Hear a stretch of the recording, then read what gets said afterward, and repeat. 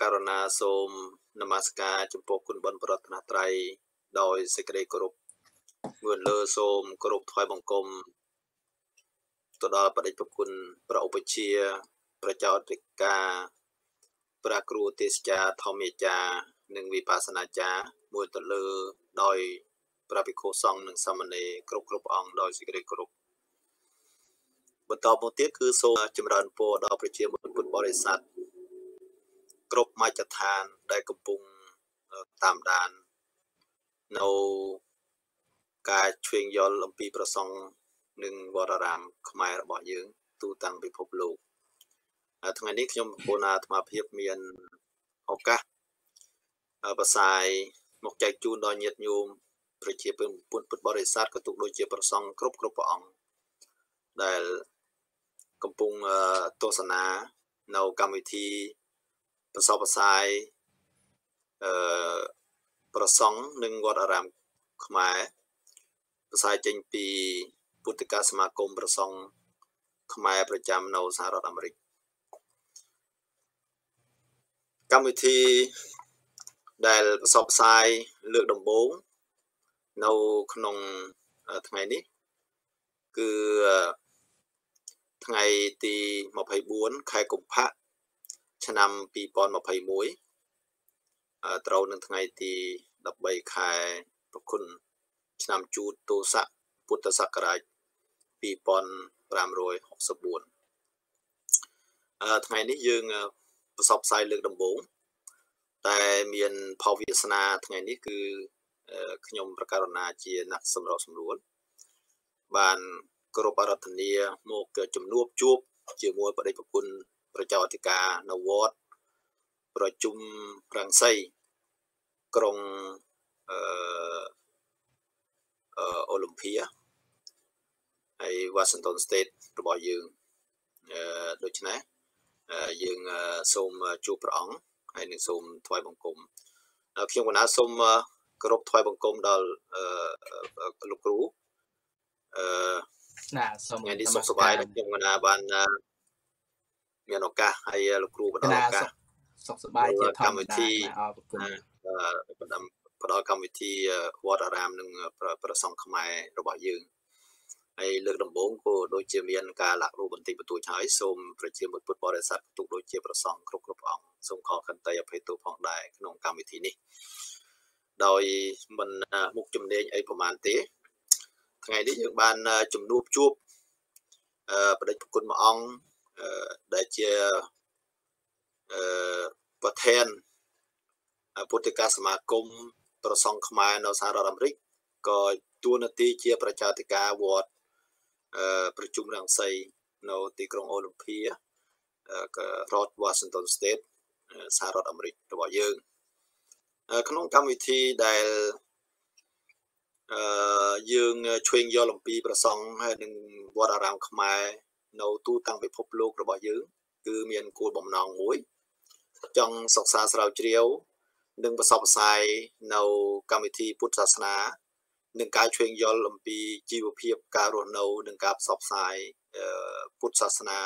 តាក់ទងដល់វប្បធម៌និងវត្តអារាមរបស់ខ្មែរទូទាំងពិភពលោកយើងដូច្នេះថ្ងៃនេះយើងមានផោវាសនាបានជំនួបជួបដល់បដិប្រគុណព្រះនាម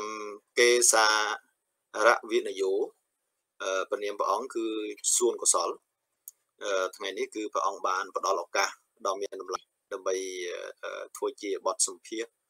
ដល់កម្មវិធីរបស់យើងដូច្នេះសូមញាតិញោមប្រជាមិត្តពុទ្ធបរិស័ទអាត្មានឹងជំនួបហើយនឹងសាកសួរដល់ព្រះអង្គអំពីប្រណិយមក៏ទុកដូចជាទីលំនៅរបស់ព្រះអង្គដូចតទៅនេះខ្ញុំកណាសូមថ្វាយបង្គំដល់ព្រះគុណ សួនកសលថ្ងៃនេះខ្ញុំកណាសូមគ្រូបរតនីព្រះអង្គឲ្យផ្ដល់នៅហើយនឹងការណែនាំបន្តព្រះអង្គឲ្យញាតិញោមនិងប្រសង់គ្រប់គ្រប់ព្រះអង្គឲ្យបានជ្រាបផងដែរសូមគោរពអរតនីជាបឋមខ្ញុំបករណាសូមគោរពស្ការចំពោះគុណប្រតនត្រ័យមានពុទ្ធរតនធម្មរតនសង្ឃរតន ជាត្រៃសារណដ្ឋានឧត្តមឧត្តមប្រសើរបំផុតក្នុងលោកនឹងសូមគោរពនមស្ការអំពីចម្ងាយចូលមកចំពោះព្រះគ្រូប្រធានពុទ្ធិកសមាគមប្រសងខ្មែរសារអាមេរិកព្រះអធិមនីមើលសាងព្រះគ្រូអនុប្រធាន បញ្ញាបតិបោបត្តិសុផលព្រះគ្រូអនុប្រធានទី2ពុទ្ធញ្ញាណោហេងស៊ីថុងនិងព្រះគ្រូប្រធានគណៈកម្មការនយោបាយព្រះមហាប្រាជ្រាន ព្រះគ្រូឯកបញ្ញោញាងនឿងជាអនុគណៈកម្មការនយោបាយដោយសេចក្តីគោរពជ្រះថ្លាព្រមទាំងប្រគុណបការណាព្រះមហាធេរានុធេរៈគ្រប់ព្រះអង្គទាំងនៅក្នុងទឹកដីនៃខ្មែរកម្ពុជាក្រោមនៃប្រជារាជាកម្ពុជា និងសហរដ្ឋអាមេរិកព្រមទាំងព្រះគុណបការណាព្រះធេរានុធេរៈក្នុងសមាជិកនៃពុទ្ធិកសមាគមប្រសង់ខ្មែរទូទាំងសហរដ្ឋអាមេរិក ដោយសេចក្តីជ្រះថ្លានិងចម្រើនពរញាតិញោមពុទ្ធបរិស័ទចិត្តឆ្ងាយទាំងដែនដីកម្ពុជាក្រោមកម្ពុជាកណ្ដាលនិងញាតិញោមពុទ្ធបរិស័ទនៅក្នុងទូទាំងសកលលោកទាំងអស់ជាទីគោរពស្រឡាញ់រាប់អានដូច្នេះខ្ញុំបណ្ណាអាត្មាភាពថ្ងៃនេះមានកិត្តិយសដោយ កម្មវិធីរបស់ពុទ្ធិកាសមាគមប្រសង់ខ្មែរសារ៉ាត់អាមេរិកដែលមានប្រាក់គ្រូអធិបតីមើងសាងព្រមទាំងប្រាក់គ្រូជាច្រើនព្រះអង្គនៅក្នុងសមាជិកបានបង្កើតឲ្យកម្មវិធីប្រអប្រសង់នៅវត្តអារាមដូច្នេះក្នុងទឹកដីនៃរដ្ឋ Washington State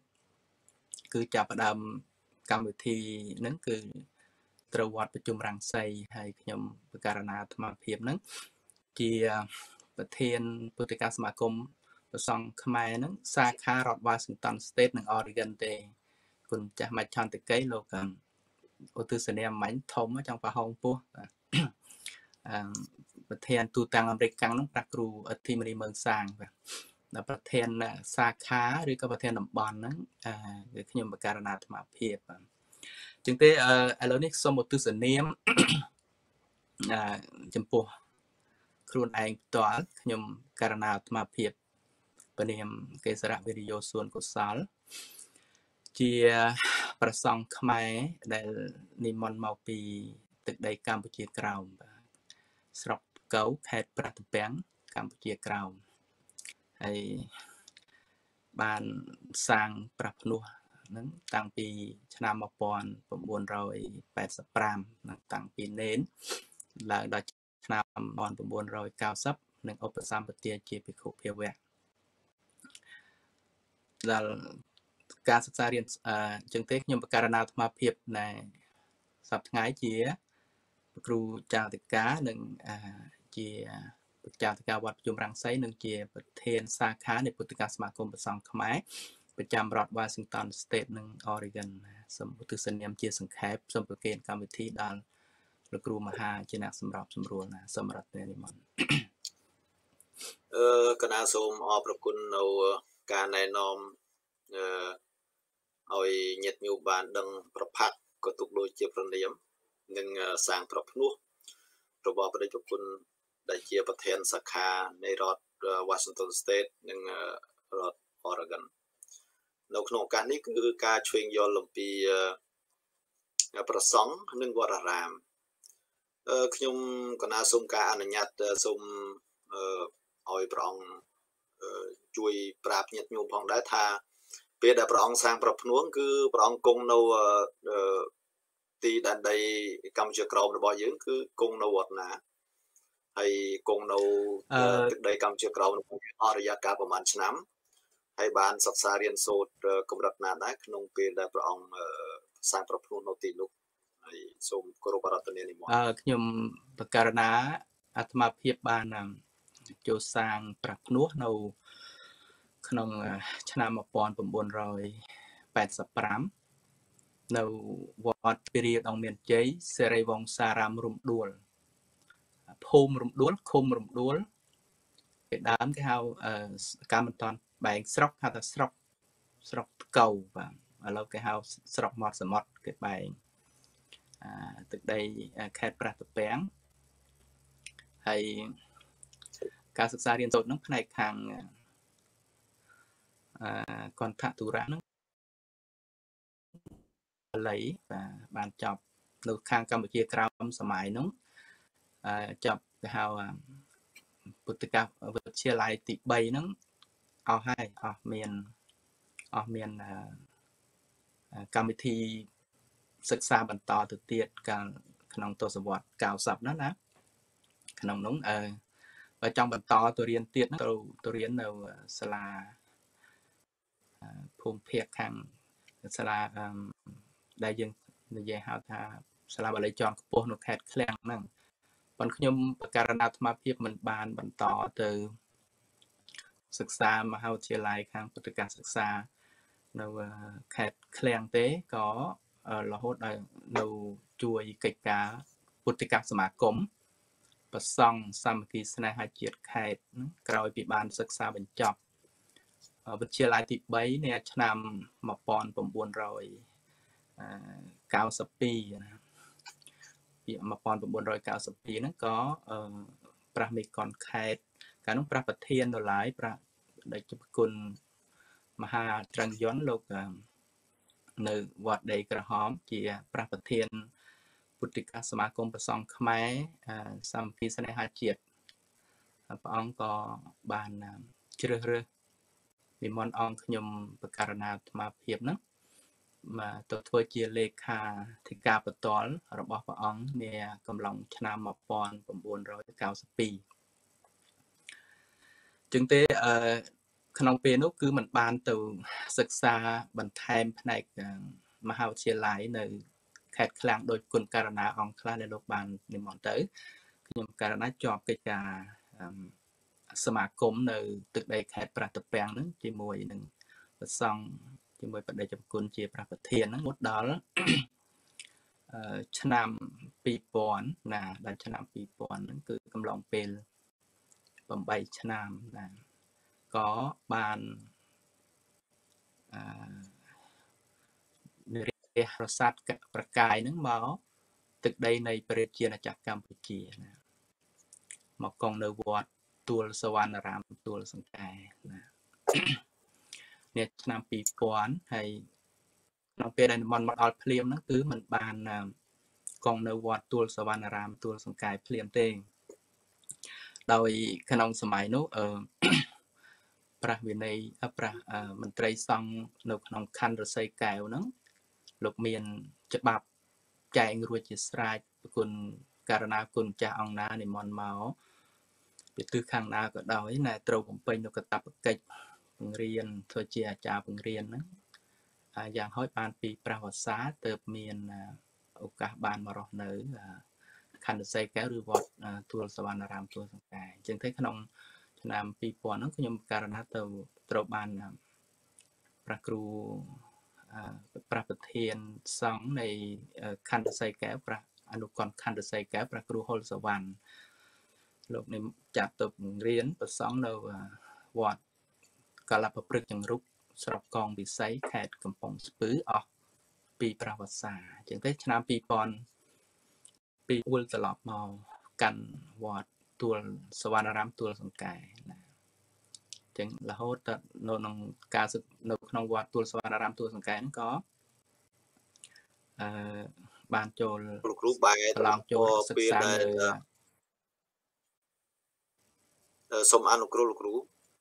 ដោយសារអ៊ីនធឺណិតមានបញ្ហាតិចខ្ញុំមិនអាចសូមអនុគ្រោះលោកគ្រូបន្តិច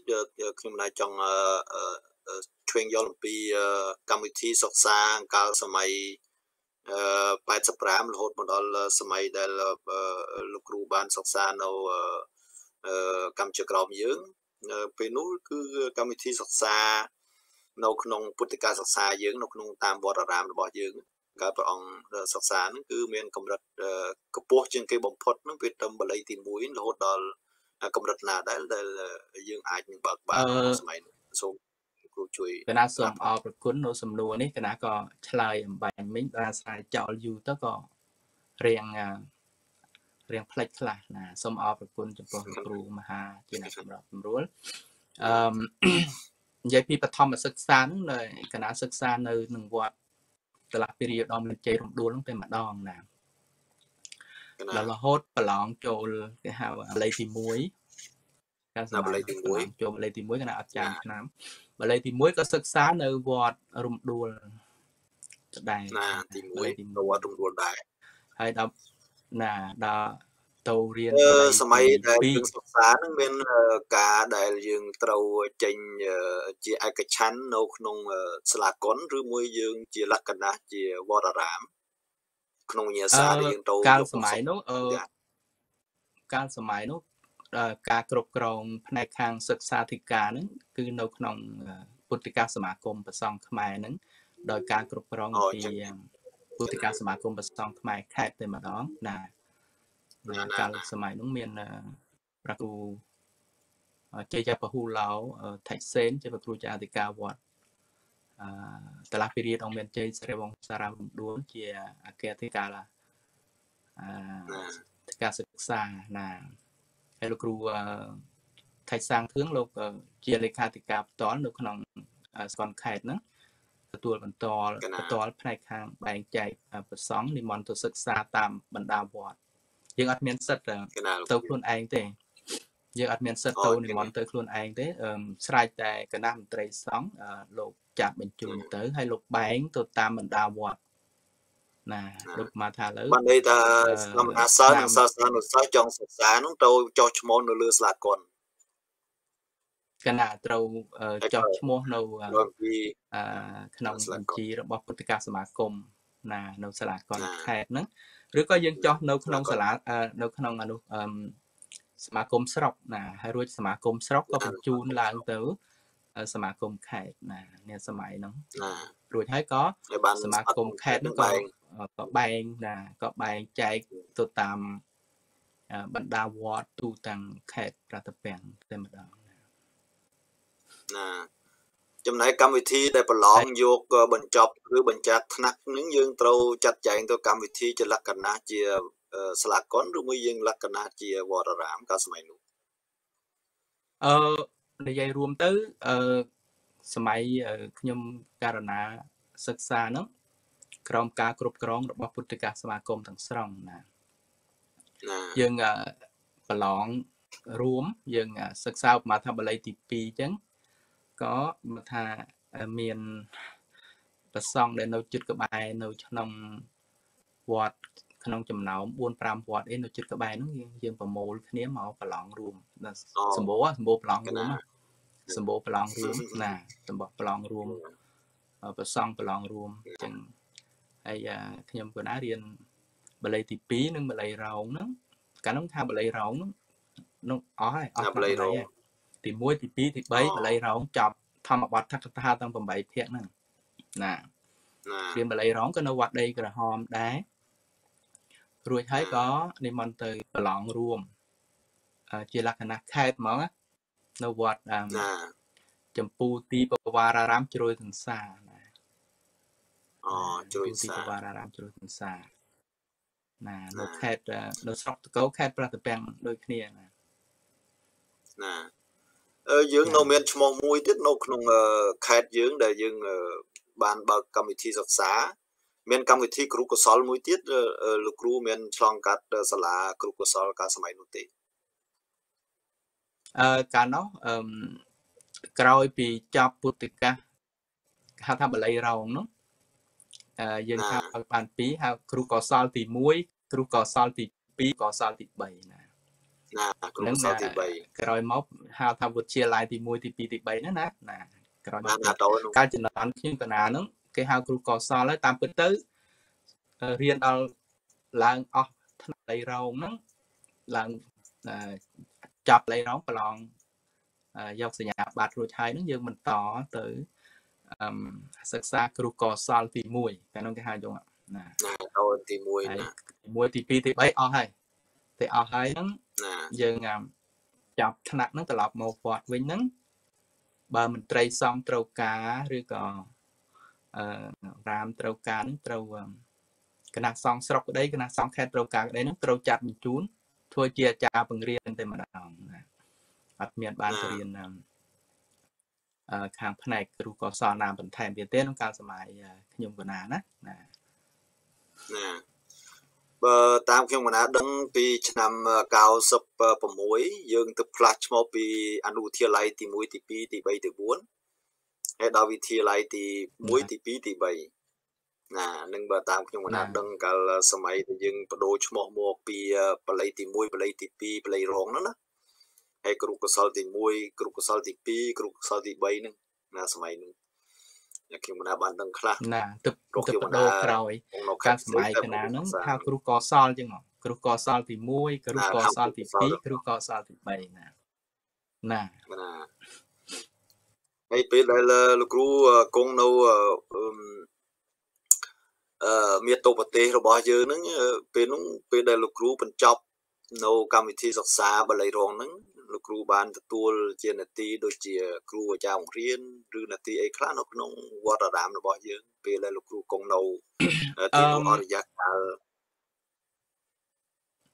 ក្រោយពីបញ្ចប់ការសិក្សានៅថ្នាក់ដែលកាលនោះហៅបល័យរងនោះបាទឥឡូវគេហៅអនុវិទ្យាល័យឥឡូវសម័យសប្តាហ៍នេះហើយមានវិទ្យាល័យទី4បានវាស្មើនឹងបល័យរងសម័យនោះគេរៀន4ឆ្នាំកាលសម័យខ្ញុំណាគេហៅបល័យ ទី1បលេខទី2បលេខទី3ឥឡូវហៅអនុវិទ្យាល័យទី1ទី2ទី3ទី4ណារៀន4ឆ្នាំបានចាប់ធម្មបទថកថាទាំង8ភាគហ្នឹងអឺក្នុងពេលដែលខ្ញុំបករណាអាត្មាភាពសិក្សាបញ្ចប់ថ្នាក់បល័យរោងសម័យហ្នឹងដែលហៅថាពុទ្ធិសច្ចាហ្នឹងគេយើងមិនតាន់បានមកមិនតាន់បានមកទទួលតំណែងជា ជាអ្វីទេអត់អត់តន់បានទទួលតំណែងជាអ្វីទេគ្រាន់តែថាត្រឡប់មកវត្តវិញហ្នឹងយើងជួយជួយបង្ហាត់បង្រៀនគោលបទខ្មែរដែលចង់មកសិក្សាភាសាខ្មែរពេលយប់អីចឹងណាណាយើងយើងយើងទទួលសោះបង្រៀនពេលយប់ដាត់ចង្គៀងប្រេងកាតហ្នឹងណាកខកខងអីចឹងណាចោចោចោញយលន់ទៅហឹងវត្តចឹងណា ណាហើយយើងបង្រៀនតាំងពីរបៀបនមស្ការសមាធិសិលហើយរបៀបរបបជាជាជាសិលធម៌នៅកាន់ពុទ្ធសាសនាជាដើមមិនតាន់មានតំណែងអីទេគ្រាន់មិនមិនមិនតាន់មានតំណែងជាអីទេប្រោះចប់បល័យរងនោះក្នុងរយៈកាលវិសមកាលក្នុងរយៈកាលវិសមកាល3ខែហ្នឹងអឺ ទៅត្រឡប់ទៅវត្តខ្លួនវិញហ្នឹងយើងមានកាយពីលោកគ្រូសង្គ្រាចហ្នឹងឲ្យយើងជួយបង្រៀនសិស្សកូនចៅខ្មែរយើងនៅពេលយប់ណាពេលយប់គ្នាមករៀនពេលយប់ទាំងប្រុសទាំងស្រី កាន់ចង្កៀងប្រេងកាត់ហ្នឹងណាដល់ដល់កាត់វាលស្រែមករៀនមករៀនកខកខងហ្នឹងណាឬក៏បង្រៀនសាមណេរដែលបួសថ្មី នៅថ្នាក់បល័យនៅថ្នាក់បឋមសិក្សាណាវាមានចម្រោះអញ្ចឹងនិយាយរួមទៅណាលោកគ្រូនិយាយរួមទៅទីប្រមាណបង្រៀនយកទៅម្ដងទី1ទី2ទី3បង្រៀនបង្រៀនយកទៅម្ដងថាក្នុងពេលនោះយើងគេថាសម័យកាលដែលយើងវាមិនសម្បូរណាវាមិនសម្បូរគ្រូបង្រៀនទេយើងចប់បល័យរងហ្នឹងកាលសម័យហ្នឹងចាត់ទុកថាយើងហ្នឹង យើងចេះគ្រាន់ដល់ហើយចេះអានបល័យណាណាហើយប៉ុន្តែយើងនៅបន្ត3ឆ្នាំទៀតនោះយើងនៅបន្ត3ឆ្នាំ3ឆ្នាំទៀតហ្នឹងអញ្ចឹងទេសំណួររបស់លោកគ្រូសម្របសម្រួលសួរថាចុះក្រោយពីបញ្ចប់ថ្នាក់បល័យរងរួចហើយហ្នឹងបានតំណែងអ្វីហ្នឹងទេมันតាន់មានទេ ដែលគ្រាន់តែប្រសិទ្ធនាមថាបើថារៀនខាងវិន័យហៅ បឋមអាចារ្យអញ្ចឹងបើរៀនខាងណាបើរៀនខាងបាលីហៅថាឧទេសចាអញ្ចឹងណាគេហៅសត្យនាមក្នុងពេលដែលប្រកាសលទ្ធផលនោះទេម្ដងណាបានទទួលសញ្ញាបត្រហ្នឹងណាណាអញ្ចឹងទេអឺណា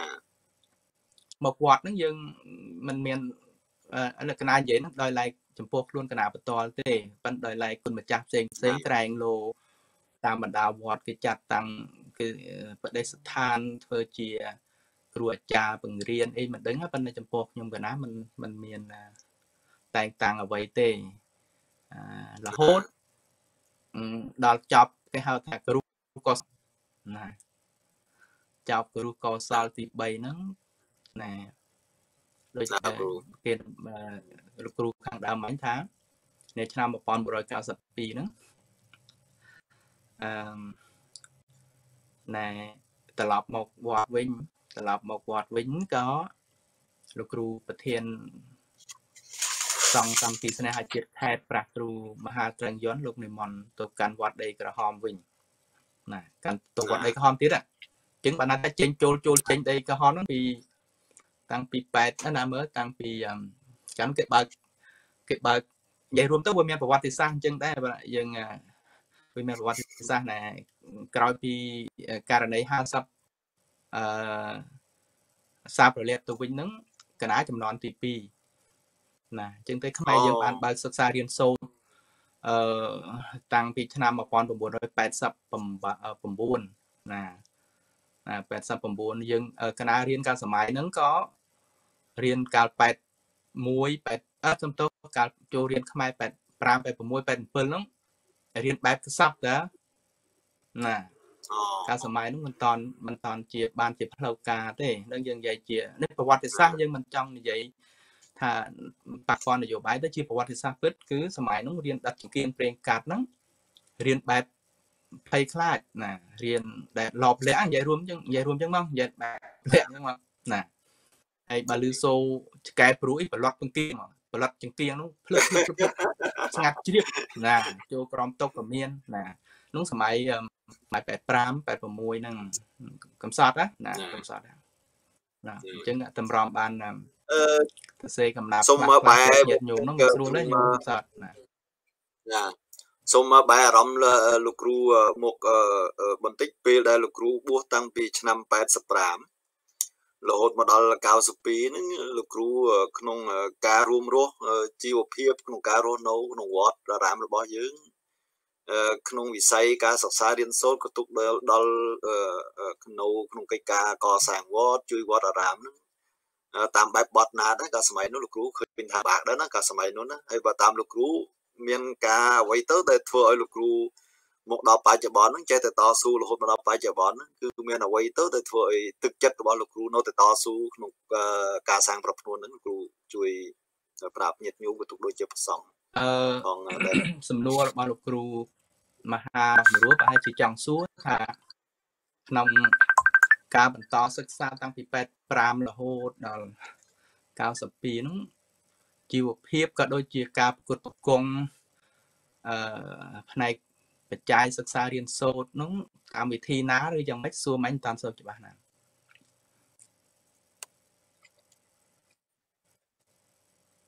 អឺ ឥឡូវសូមឆ្លើយថាបែបណាដែរឬមួយណាបាទ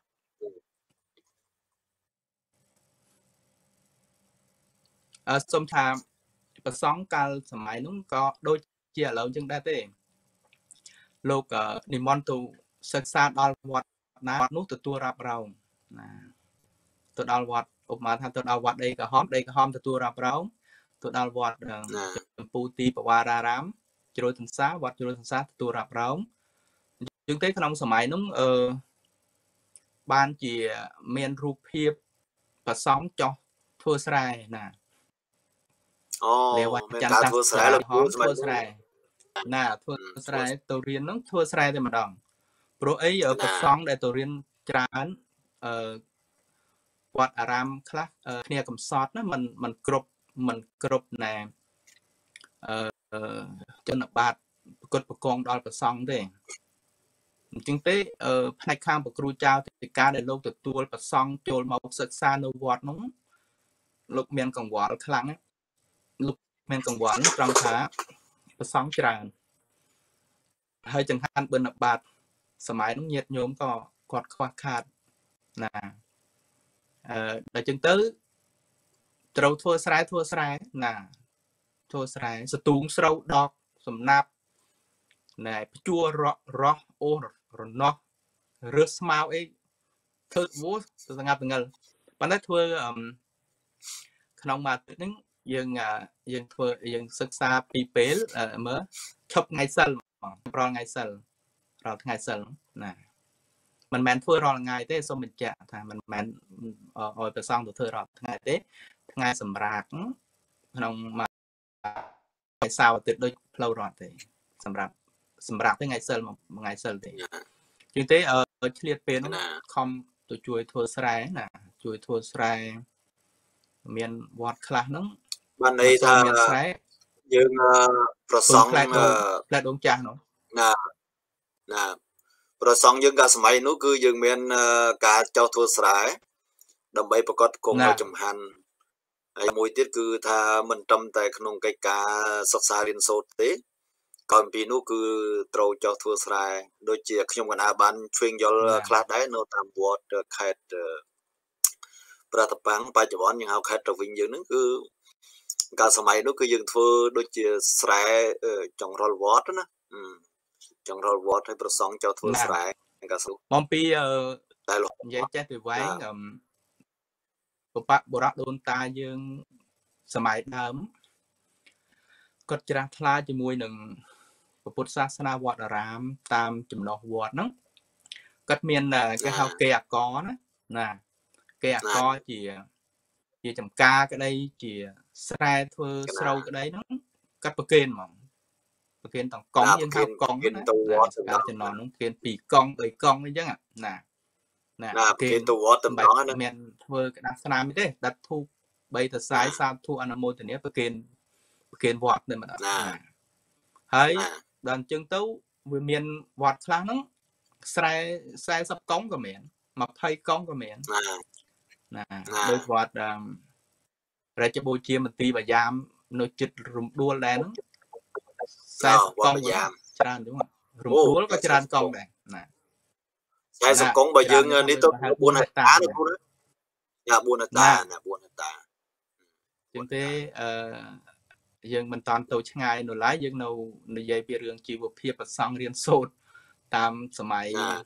ក្រោយពីករណី50រួចហើយហ្នឹង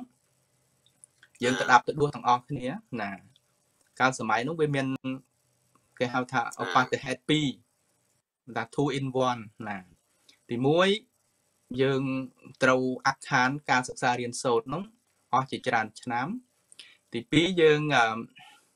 ត្រូវផ្នែកសេដ្ឋកិច្ចខាងផ្នែកកសិកម្មប្រជាពុទ្ធបរិស័ទខ្មែរកាលនោះគេចូលសមូហភាពនោះលោកចាមានជួបប្រទេសគេដែរណាគេចូលសមូហភាពគេចូលសមូហភាពហ្នឹងគេហៅតែតាប់ដងហ្នឹងយករករបបប្រស៊ីចែកស្រែគ្នាណាណាណាអានេះយើងរឿងពិតទេមិនមែនមិនមែន ចង់ចូលនយោបាយនយោអីជារឿងពិតក្នុងចំនួនដែលដែលខ្ញុំកណារៀនចូលបួសហ្នឹងណាហើយអញ្ចឹងខ្ញុំកណានៅតូចពេកក្មេងកាលនោះអាយុ14 15ប៉ោះកំប៉ោងនៅឡើយហ្នឹងកាលនោះកំសត់ខ្ញុំក៏បានសារប្រភ្នួននោះហើយប្រសង់ក្នុងពេលនោះនិយាយឲ្យអស់បណ្ដោយណែមិនមែនត្រឹមតែធ្វើស្រែទេ មិនមែនត្រឹមតែធ្វើស្រែតាមបណ្ដាវត្តទេវានៅមានអារបបឲ្យជីកបលាយទៀតនោះណារដ្ឋអំណាចគេហៅទៅចែកម៉ែត្រជាងហ្មងណាគេហៅទៅវោះណានឹងនឹងរឿងពិតរឿងពិតនៅសម័យ8 5 86កំសត់អញ្ចឹងហើយខ្ញុំក៏ណាណែក្នុងរៀនកខកខងចឆចឆញនោះកំពុងរៀនរៀនគេហៅទៅណាគេហៅទៅដល់ពេលគេហៅទៅគេមើលឃើញយើងប៉ោះប៉ោង ប៉ោះប៉ោងមិនមែនប៉ោងមាត់ទេប៉ោងខៀវខៀវណាក្មេងវាមិនមានអ៊ីស៊ីបងហ្នឹងប៉ោងខៀវខៀវមកជីបចោប្រហែលឃើញលោតឃើញអស់ណាតិចតាក់តិចតាក់ឃើញអត់ទៅឃើញវាឆោតម្រង់ជួរទៅអេមើលទៅដឹងវាស់ឲ្យប្រហែលម៉ែត្របើដៃជើងទុយទុយប៉ោះធំណាស្វាយនោះធំទៅពោះហើយបើដៃជើងទុយទុយណាណាហ្នឹងហើយដល់ពេលគេមកបែងដីឲ្យជីកនឹងគេបែងការងារឲ្យធ្វើឲ្យដងទឹកឲ្យដងទឹក ឲ្យដងទឹកឲ្យណែសមណែយើងយកអារបៀបដើមឫស្សីចាស់ហ្នឹងយើងយើងសែងទឹកពីពីភ្នោចុះមកវាលណាហើយថ្ងៃសិលថ្ងៃអីយើងកសក់ឡើងលលីងហើយថ្ងៃកដៅខែចែកណាមិនធម្មតាទេកដៅដល់ដល់ពេលវិជាណាវិជារបបប្រកាសលោកនេនអស់ណាណានៅលោកកណ្ដាលវាលនោះណាហើយបានទឹកមកមកធុំនោះ សែងលពុកលប៉ាក់លពុកលប៉ាក់ដើរដីលហែងជើងទៅទេណាมันมันស្រួលទេណានឹងនឹងនិយាយទៅវាជាប់តាក់តងដល់សម័យនោះណាមិនមែនចង់និយាយលើអីទេគឺអញ្ចឹងហ្មងណាណាចឹងទេដើរពីផ្លូវនោះ ចុះទៅដល់កន្លែងជីកគេហៅជីកប្រែកជីកប្រែកណាជីកប្រែក ជីកបន្លាយជីកជីកបន្លាយគេហៅបន្ ជីក លាយ បន្លាយណាអត់ទេអាបន្លាយមកធ្យមទៅវាងុំអាប្រែកនោះ អាបន្លាយទុយទុយដែរអូប្រែកធំណាទៅទឹងពីអា3ម៉ែត្រនោះជាងណាអាបន្លាយទុយទុយដែរអូណាបន្លាយណាទុយទេអូអាអានេះវាប្រែកហ្មងណាជីកប្រែកហ្មងណាជីកព្រេកហ្មងណាហើយនៅចាំទៅលោកបច្ចុប្បន្នគេហៅព្រេកអីលោកព្រេកអីនឹងហៅព្រេកអីលោកនោះឥឡូវមិនដឹងទៅវានៅទៀតទេអឺអឺកាលនោះជីកខាងប្រសពព្រមប្រយាមនឹងរំដួលហ្នឹងកាលសម័យហ្នឹង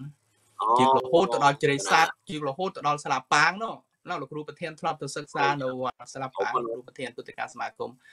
សង្ឃខ្មែរសហរដ្ឋអាមេរិកណាលោកគ្រូញ៉ាងនឿងក៏លោកធ្លាប់ស្គាល់វត្តស្លាប៉ាងក្តីវត្តណា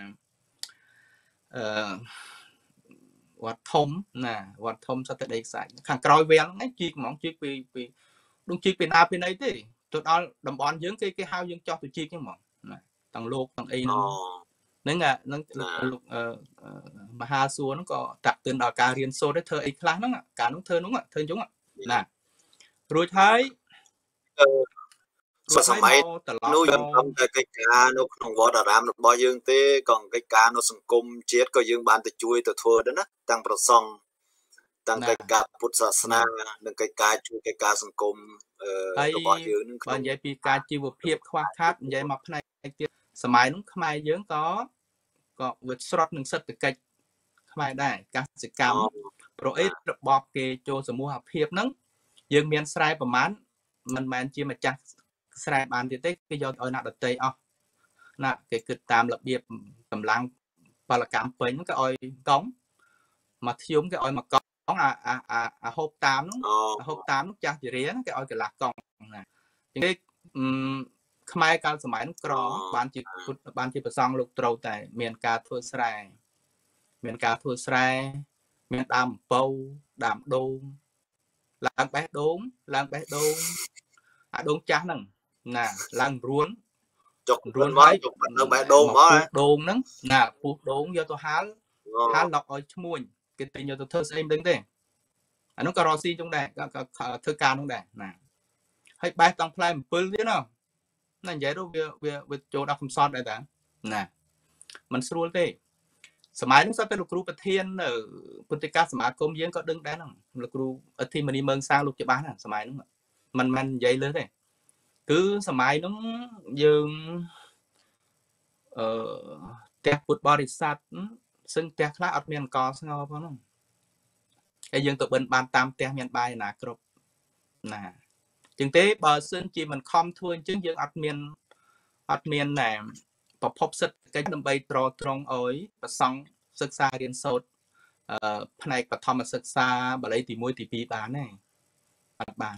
ជាបុរាណនិយាយថាធ្វើស្រែងទឹកធ្វើសឹកនឹងបាយណាតែអត់បាយហើយធ្វើអីមិនចេញទេអញ្ចឹងទេណាដល់អឺប្រសង់កាលសម័យនោះអឺលោកអូត្រូវកោះកលសគីកល ជិតតែលីកោះអស់ហើយមិនធម្មតាទេអូកោះឲ្យធ្វើអស់បើណាកោះធ្វើអបើស់តាមកលនៅកណិកកលមើលអីកោះគឺជាពីអតីតកាលក្នុងការបំពេញប្រភ្នោះនិងការសិក្សារៀនសូត្រហើយបំពេញកាតព្វកិច្ចជាប្រសង់មួយអង្គឃើញថាដូចមានការលំបាកណាសម័យនោះលោកគ្រូណាណាហើយចុះអឺអឺខ្ញុំមិនថាសុំអឺដូចលំបាកមែនគ្រូជួយអឺជួយរៀបរាប់ជាបដល់កម្លាំងចិត្តឲ្យអឺ បងប្អូនដែលជាយុវជនក្តីជាសមណៈអឺសិស្សរបស់យើងនិងសិស្សានុសិស្សរបស់យើងនាបច្ចុប្បន្នហ្នឹងគឺថាអឺកម្លាំងអីដែលធ្វើឲ្យលោកគ្រូនឹងខំតស៊ូសិក្សារៀនសូត្រនឹងពុះពេរាល់ឧបសគ្គក្នុងកាលសម័យនោះអឺដែលបានបើមានតែកម្លាំងមួយទេណាមានតែកម្លាំងមួយ ជាកម្លាំងបែបធម្មជាតិ កម្លាំងស្រឡាញ់ជាតិខ្លួនឯងណាហៅថាមនសិអូការ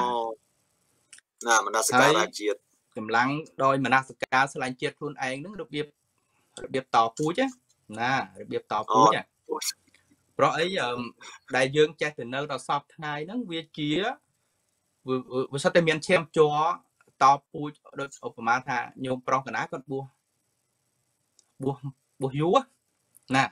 ក៏គាត់ធ្វើមិនបានធ្វើចៅតកាគាត់គាត់ធ្វើគ្រូសូត្រដែរណាដល់ជាងទៅអឺកូនខ្មែរកម្ពុជាក្រោមកាលនោះអឺស្ដាប់ម្ដាយស្ដាប់ជីដូននិយាយចេះនិយាយថាជាកាលនោះយើងកូនក្មេងយើងមិនមិនដឹងថាអ្វីជា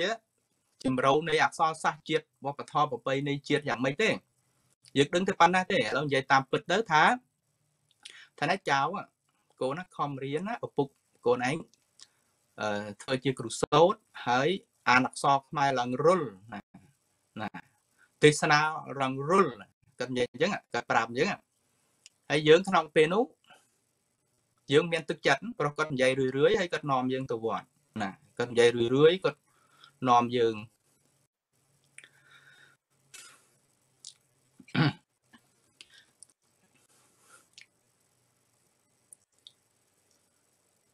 អូក៏នឹងនឹងជាទឹកចិត្តរបស់លោកគ្រូពេលដែលយើងបាន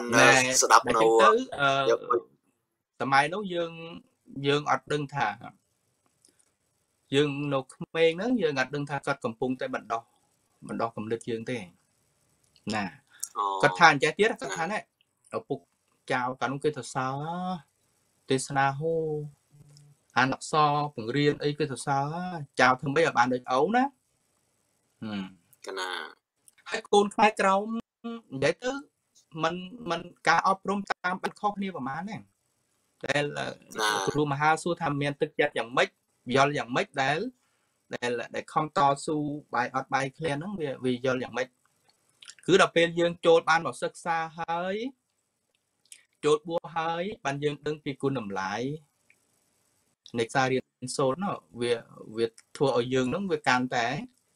វាកាន់តែតស៊ូទៀត ឃើញយ៉ាងម៉េចកណាឃើញតាំងពីខឿនប្រវហាដែលចាស់បុរាណឃើញពីតាំងពីបច្ចិតដីធ្វើតាំងពីរាប់រយឆ្នាំកន្លងទុកមកយើងសួរលោកគ្រូចាលោកដំណើរថាចំណន់នេះចំណន់នោះហើយយើងក៏គិតឲ្យខ្លួនឯងថាគាត់ខំតស៊ូណោះហើយសាលារៀននោះរៀបអត់បាយក្រៀមនោះឡើងដោយប្រត្រិតត្រួត ឃើញមើលទៅពួរអានោះអធមហើយយើងសួរទៀតយើងសួរថាទេសាលានោះចាស់យូរណារៀបនឹងធ្វើទាំងតាំងជំនាន់ណាគ្រូចាតិកាលោកបរិយាយធ្វើជំនាន់នេះជំនាន់នោះលោកតាកាលជំនាន់នោះសិតតែធ្វើដោយដៃអីអីអញ្ចឹងប្រសង់ក៏ខំធ្វើដោយដៃអញ្ចឹងណាចឹងទេអឺតស៊ូទាំងយប់ទាំងថ្ងៃដិតអីកាលនោះកាលសម័យនោះគេប្រើផ្លែកទឹងយើងណាធ្វើពន្លឺភ្លើងយប់អីចឹងណា តែយើងស្ដាប់ទៅបានយើងនឹកគិតថាដល់តោះយើងណែจิតាយើងจิតាទួតយើងគាត់ខំគាត់ខំឥឡូវគាត់ស្លាប់អស់ហើយកាលនោះគាត់យើងគិតគិតស្រាលស្រាលដែរយើងគិតស្រាលស្រាលមិនទៅចេះនិយាយទេឥឡូវ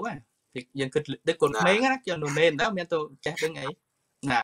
នេះហើយហូបក៏គ្រាប់គេវណាសុំគួរបន្តិចទៀតបើតាមគិតវត្តរំដួលមកដល់បច្ចុប្បន្ននេះការកសាងផែរយៈប្រហែលឆ្នាំទៅលោកគ្រូអូជាង600ឆ្នាំហើយណាណាជាង600ឆ្នាំមិនមិនដឹងថា600ប្រហែលទេប៉ុន្តែជាង600ឆ្នាំហើយណាណាអូវត្តរំដួល អឺដូច្នេះគឺកម្មវិធីការសិក្សាក៏ទុកដូចជា ក្នុងកតបកិច្ចជួយកិច្ចការសង្គមពុទ្ធសាសនាក៏ទុកដូចជាអឺក្នុងការជួយសង្គមជីកបន្លាយជីកអីដើម្បីជាអឺធ្វើឲ្យងាយស្រួលក្នុងការសកម្មយើងជាកូនកសិកម្មណា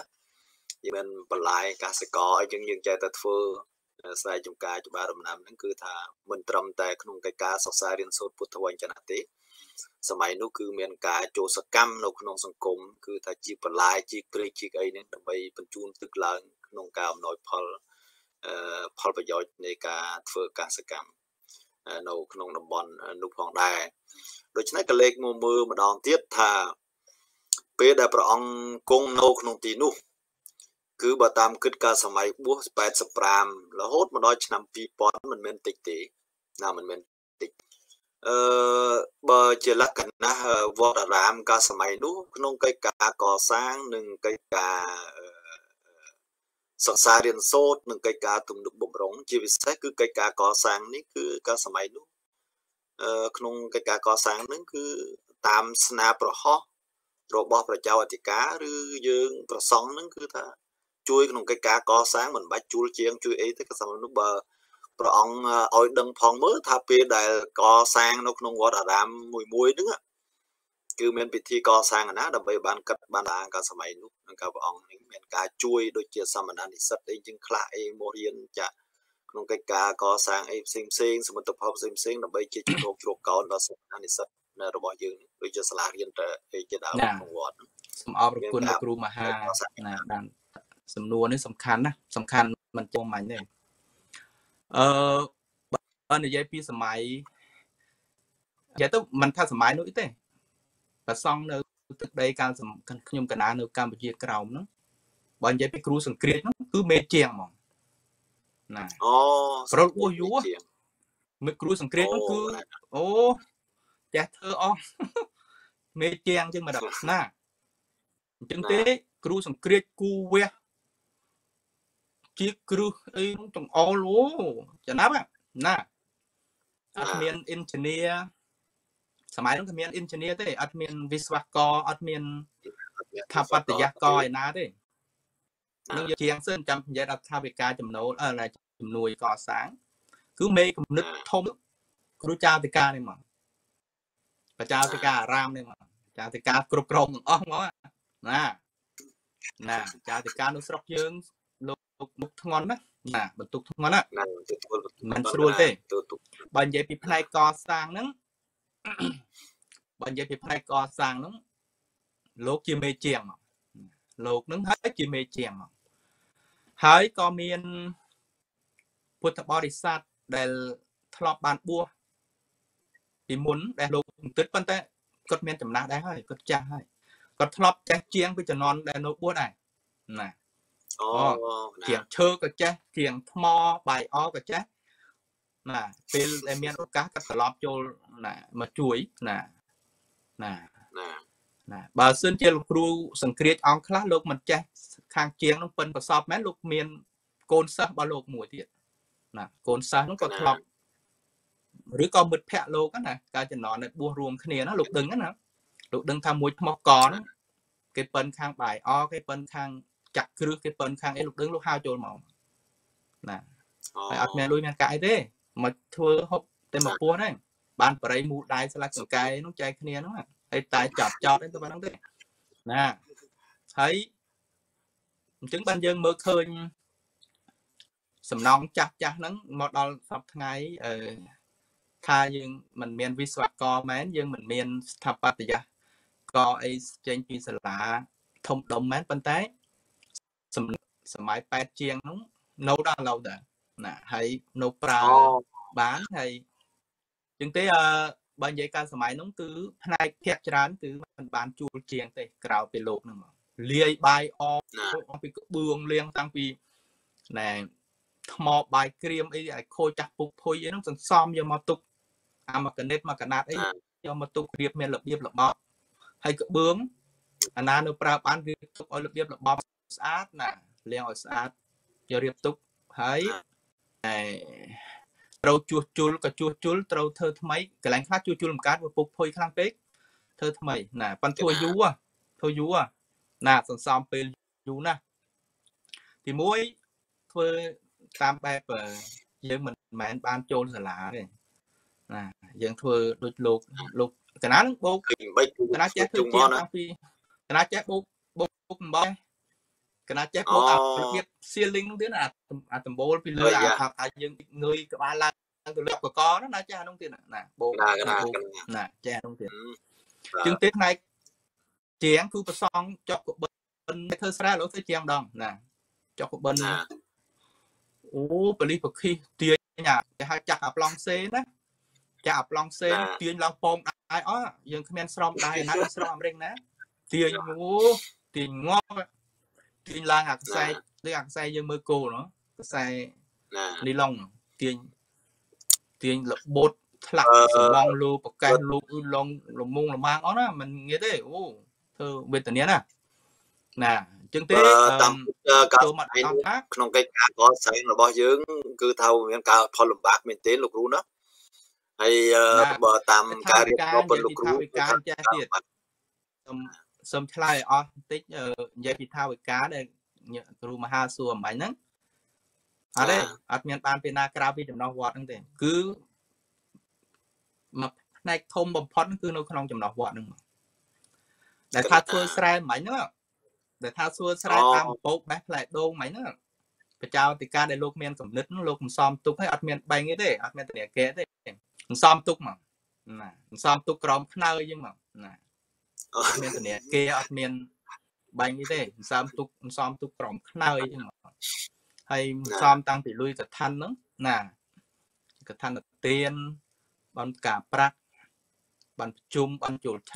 ចូលឆ្នាំអីជាដើមអញ្ចឹងហ្នឹងអញ្ចឹងបានថាចៅវិការលោកមានកំណត់ជ្រៅណាលោកជ្រៅមែនតើបើមិនជុំទេมันអាចមានអីនេះបានទេអត់មានជំនួយអូសម័យនោះមានលុយណាក់បរទេសណាមិនដឹងផ្ញើលុយពីបរទេសមិនបីផងហ្នឹង មិនដឹងរបៀបផ្ញើណាក់បរទេសក៏កុំមានប៉ុន្តែ